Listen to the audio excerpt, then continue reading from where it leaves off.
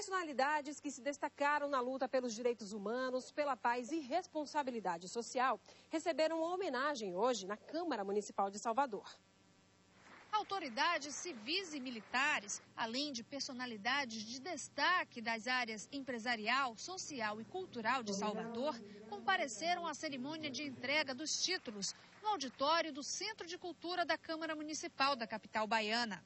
A outorga de comendas da soberana ordem da Sociedade Intercontinental de Ciências Humanas, Jurídicas e Sociais é uma homenagem concedida aos que trabalham em prol dos direitos humanos, da paz e da responsabilidade social.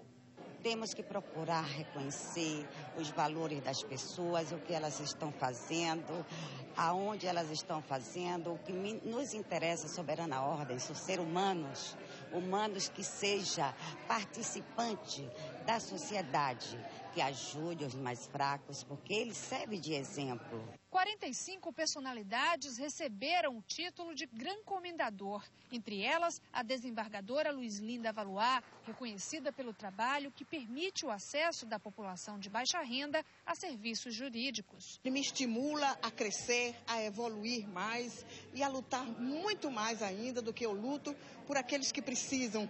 A diretora da Rádio Sociedade, Bernadette Santos, e a diretora comercial da Record Bahia, Marluce Barbosa, também foram agraciadas com o título. Esse prêmio é a resposta, a resposta do, de tantos anos, de, de tanta luta.